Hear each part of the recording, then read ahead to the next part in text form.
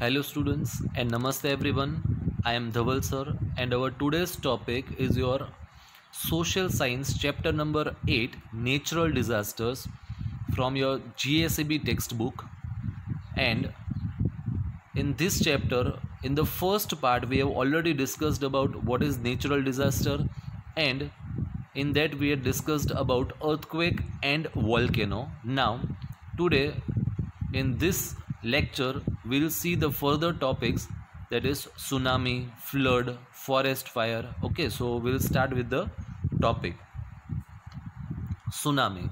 So due to volcanic eruption or earthquake on the sea floor sea floor means in the oceans or the uh, oceans or the seas right there is a volcanic eruption or the earthquake. And due to this volcanic eruption or earthquake huge waves of the waters are formed which is known as tsunami right? So high oceanic waves are created. They are known as tsunami.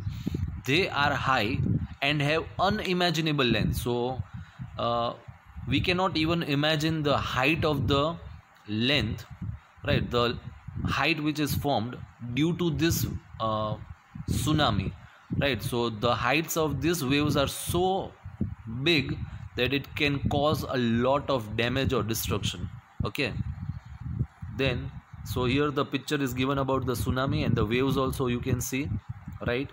Then their length is approximately 700 to 1600 kilometers. Okay? These waves travel with a great speed and force by the time they reach the coast. So as and when they are coming closer and closer to the coast that is the surface of the earth they attain great height and power which causes a great deal of destruction in coastal areas.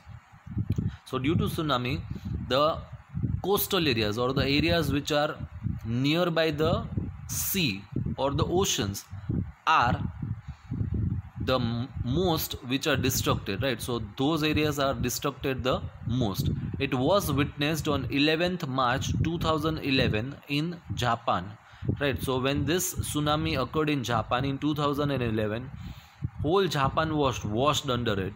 Right totally it was covered with water okay? Further strong and whirling winds also create big and strong waves.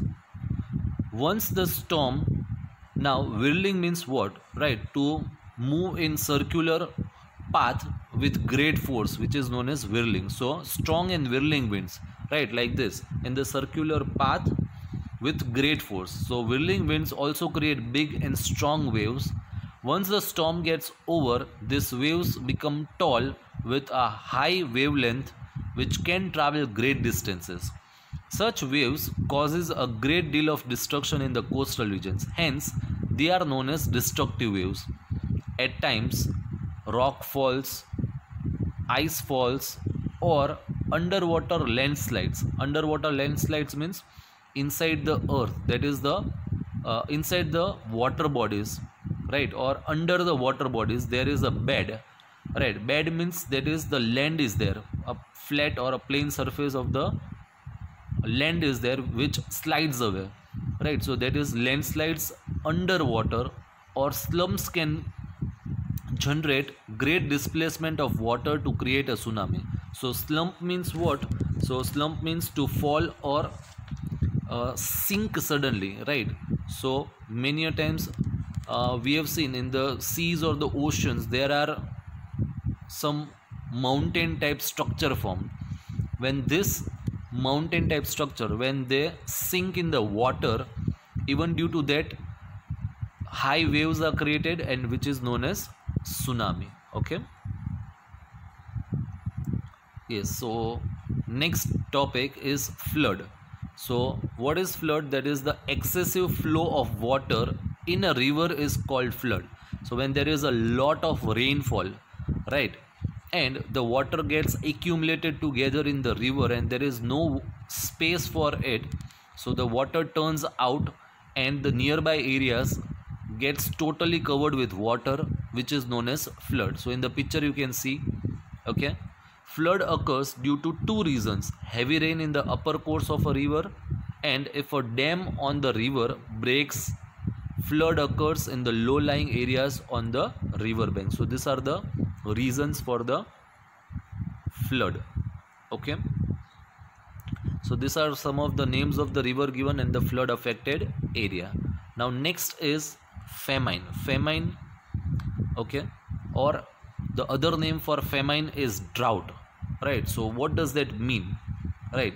Scanty rainfall. Scanty rainfall means a very less amount of rainfall right? So when there is a very less amount of rainfall it leads to the drying up of the ground water and shortage of food and water is created right?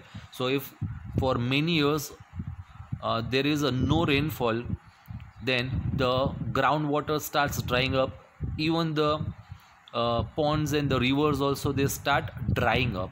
And due to it scarcity of water is created. And when the scarcity of water is created due to it no farming is even possible. So there is scarcity of food and water. And due to that a lot of people start dying right? So such a kind of situation is flood or uh, that is known as not flood there is uh, drought or famine.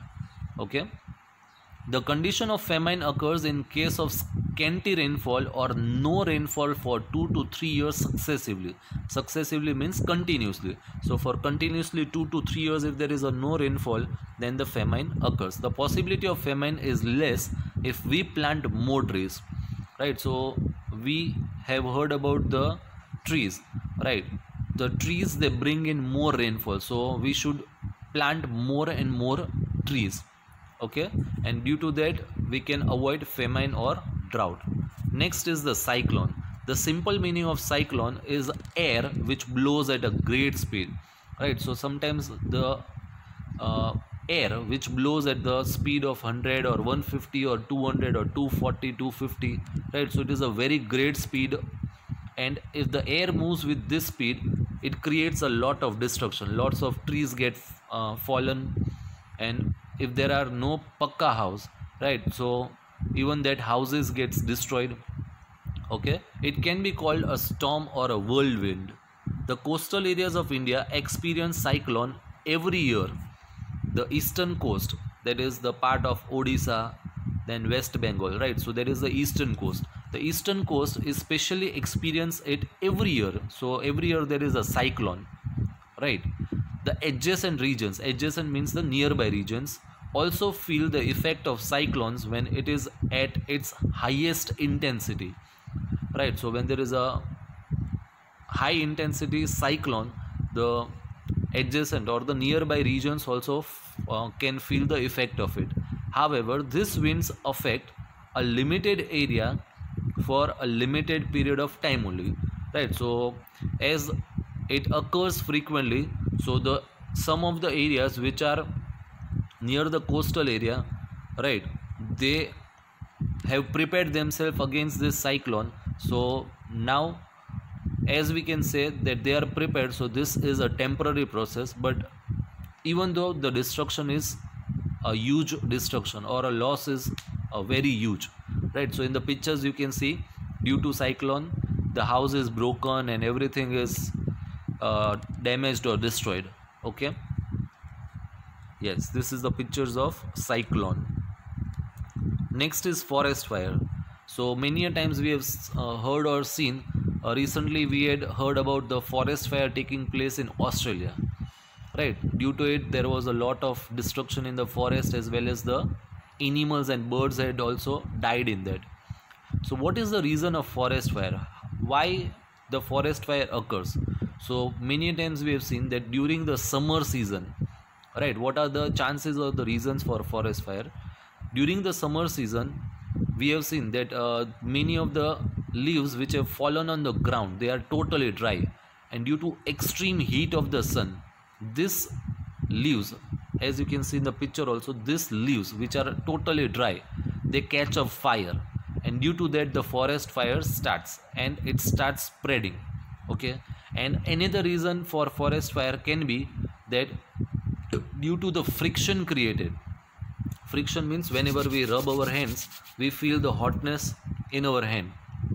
Our hands become hot right? So when there is a friction created between two trees due to wind due to dry wind when these trees they collide with each other right and due to that also the fire can take place. So we'll just read out friction between dry branches of trees and other factors causes forest fires. So other factors i've already or other uh, factors i've already discussed that is the dry leaves. It causes a great amount of damage to the forest resources. We all know that how precious are the forest resources for us right? And uh, due to this forest fire there is a lot of destruction which is ultimately not a good thing for us. Okay next is landslide. So uh, here you can see that there is a kind of a mountain right? And over there the land gets slided. That means there is a break in the rocks or the surface of the mountain. And due to that the low lying areas beneath it gets totally damaged or destroyed. So the sliding of large sliding of large mass of rock material soil etc down the side of a mountain or a cliff. Is termed as landslide.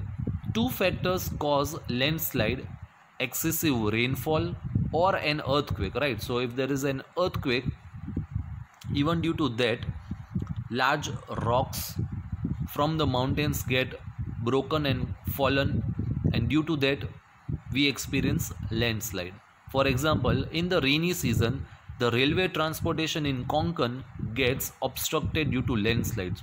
So konkan is in maharashtra and there always during the rainy season there is landslides and because of that the railway lines get disturbed. Okay? So that's it. Right? We end our lecture and the topic over here your chapter number 5 is over. I hope so that my lectures are helpful to you and if you like my videos please subscribe my channel. It motivates me a lot. And uh, thank you so much for watching my video